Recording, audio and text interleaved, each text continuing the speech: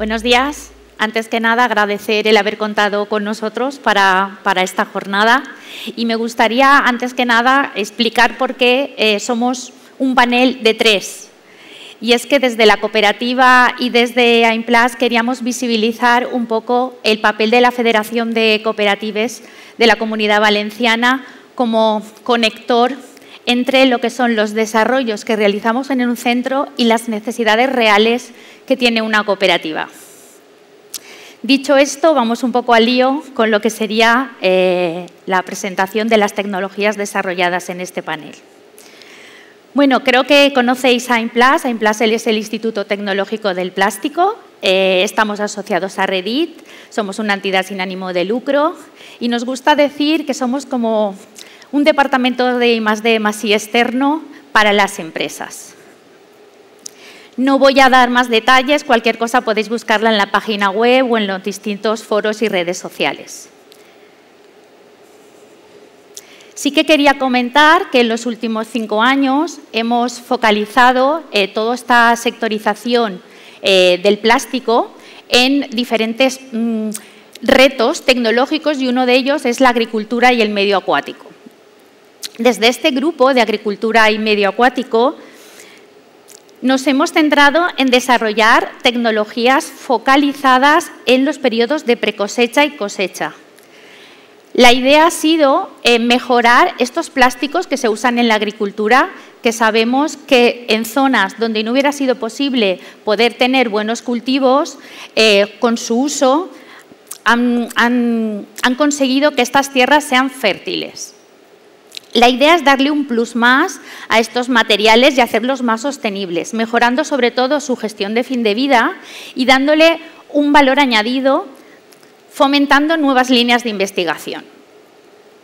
Quería mostraros las líneas de investigación en las que estamos trabajando, una muy focalizada al desarrollo de, productos de plasticultura convencionales, pues para mejorar las capacidades y su resistencia en el tiempo, o el desarrollo de nuevos biopolímeros para aplicaciones en las que pensamos que la gestión de fin de vida de ese producto puede ser el compostaje o puede ser incluso el, dejar este polímero, este acolchado en este caso, en campo y tratarlo eh, como se tratan los restos vegetales, tras un triturado y deposición en el medio. Luego tenemos eh, la valorización de residuos, me saltó uno un poquito adrede para eh, comentarlo posteriormente. Y en este caso sí que estamos haciendo también muchísimos desarrollos, recuperando tanto los restos vegetales como los restos de materiales que quedan tras la cosecha para funcionalizarlos, darles un valor añadido y poder generar subproductos a través de ellos. Entre estas dos eh, líneas de acción os contará algunos desarrollos que hemos hecho de la mano con otras cooperativas eh, mi compañera Ana Cano de la Federación de Cooperativas. El punto central, que es el de productos de plasticultura funcionalizados, en este caso lo que hemos querido es eh, utilizar estos materiales plásticos como un nuevo, eh, una nueva herramienta para el tratamiento de plagas. ¿Vale? En este caso les damos un plus más a estos materiales para que puedan reducir el uso de insumos químicos convencionales por tecnologías convencionales, como pueden ser el esprayado, desarrollando nuevos productos y nuevas metodologías de aplicación. Todo ello sin olvidar un poco, bueno, sin olvidar mucho, lo que es la calidad del suelo. Todo lo que desarrollemos, todo lo que vayamos a poner al campo durante el periodo de cultivo, que no reste nunca a eh, nuestra materia prima, que es nuestro suelo de cultivo.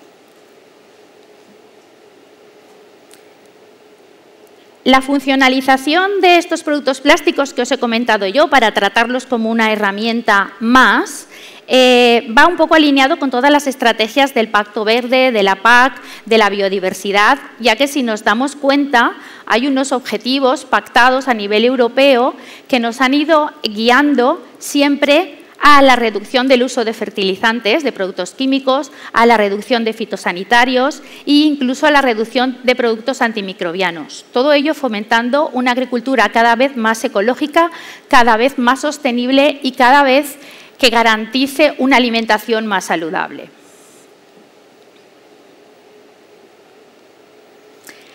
¿Cómo lo hacemos? Pues lo hacemos de alguna manera incorporando ingredientes activos a estos productos de plasticultura. ¿Qué ingredientes activos? Pues los han comentado ya en algunas de las ponencias eh, eh, mis predecesores. Se pueden utilizar derivados de extractos naturales, ingredientes activos que pueden venir de las plantas, incluso de subproductos vegetales o de frutas, verduras que eh, durante el proceso de recolección o transporte pues han perdido eh, las prestaciones que les hacen ideales para la venta y a partir de ahí podemos obtener con estos subproductos estos ingredientes activos que nos pueden ayudar con su capacidad pesticida, eh, fitosanitaria, bioestimulante, al incorporarlos en productos de plasticultura convencionales.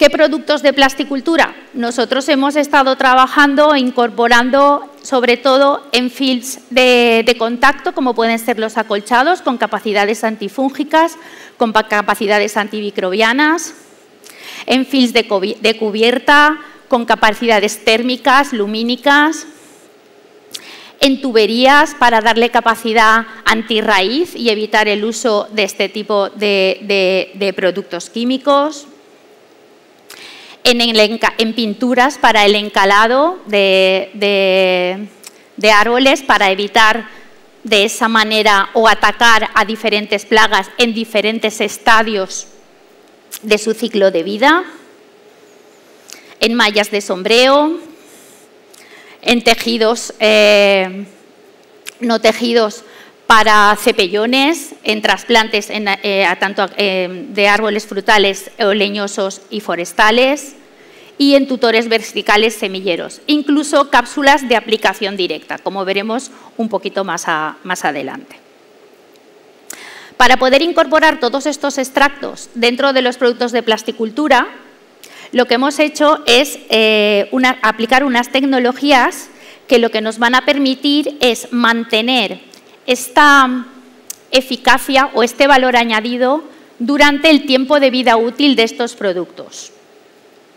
No es una liberación controlada, pero a mí me gusta decir que es como una liberación sostenida.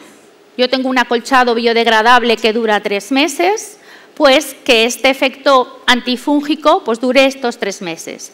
Tengo unas cápsulas de aplicación directa de hidrogel que se posicionan en campo, pues que tienen una duración de 20-30 días, pues que tengan ese efecto durante ese tiempo. ¿Por qué? Porque no es posible controlar una liberación controlada cuando estás exponiendo estos productos a las inclemencias del tiempo.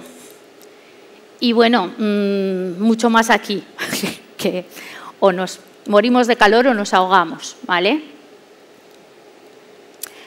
Entonces, hay algunas tecnologías que hemos estado desarrollando en las cuales eh, se ha tenido que tener en cuenta muchos factores que luego veremos, pero la idea es utilizar procesos de absorción que nos van a permitir incorporar en diferentes sustratos porosos estos ingredientes activos, teniendo en cuenta el carácter de estos ingredientes, si, son si están en sólido, son líquidos, en, disolución acuosa, si, están, si son eh, en base a alcohol, los caracteres del sustrato poroso, si es más hidrófobo, si es más hidrófilo, si lo vas a incorporar en un material plástico, si este material es de bajo peso molecular, de alto peso, de alto peso molecular, si es polar, si es apolar, porque todo eso nos va a indicar qué tipo de compatibilidad tiene. Y teniendo en cuenta esa compatibilidad, podemos delimitar tiempos de exposición, que como os hemos comentado, intentamos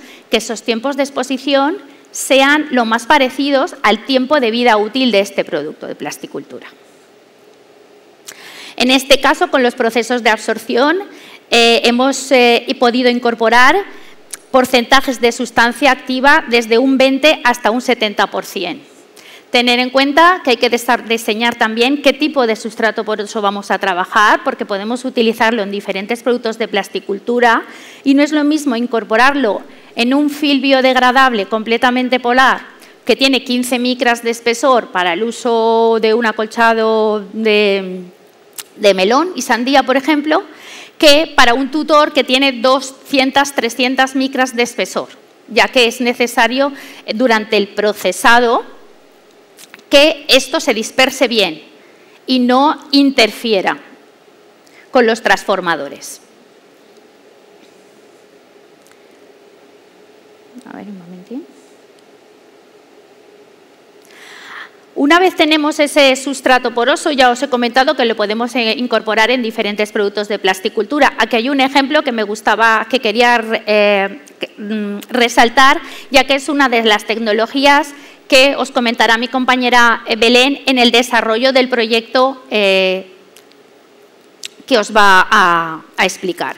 En ese caso, lo que hemos hecho es ese, sustrato poroso, prepararlo en una emulsión eh, para obtener un concentrado que nos permitiera diluirlo en pinturas convencionales de uso para encalado. Hay que ajustar muy bien estos componentes para evitar eh, que se decanten los productos y se mantenga la homogeneidad que se requiera durante el almacenaje y durante la aplicación de este producto.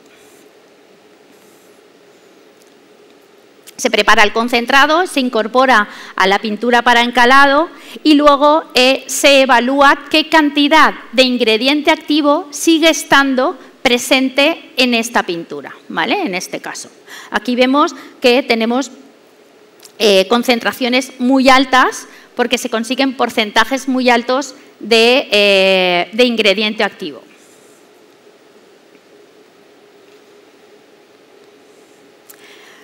La última fase, antes de hacer eh, las pruebas reales, es ver si es verdad que cuando aplicamos estas pinturas se pueden aplicar en el espesor que necesitamos para que hagan efecto o que simule el proceso de encalado convencional y sobre todo que se pueda aplicar con las mismas tecnologías que las que se aplican actualmente. ¿Vale? La otra tecnología que quería comentar es una tecnología de gelación iónica. En este caso, eh, que también explicaremos un poco eh, su aplicabilidad en el proyecto posterior, lo que utilizamos es la tecnología de gelación iónica para formar hidrogeles, pero estos hidrogeles están funcionalizados. El extracto e ingrediente activo se formula en, las condiciones necesarias para poder incorporarlo en dispersión durante el proceso de, eh, de goteo para formar lo que serían las cápsulas activas.